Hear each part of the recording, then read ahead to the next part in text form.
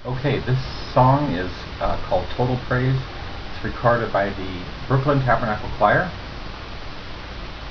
And I'm going to be playing the music and then accompanying it with, um, with bass.